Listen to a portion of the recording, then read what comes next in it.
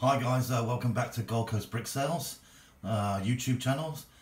This is displaying all our vintage collection of all our um, Lego.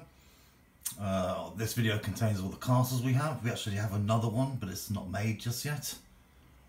So that'll be, once it's completed, obviously it's displayed.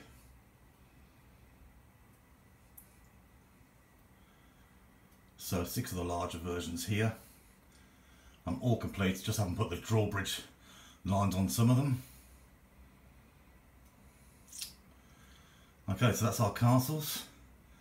Uh, look forward to uh, showing you some more of our collection.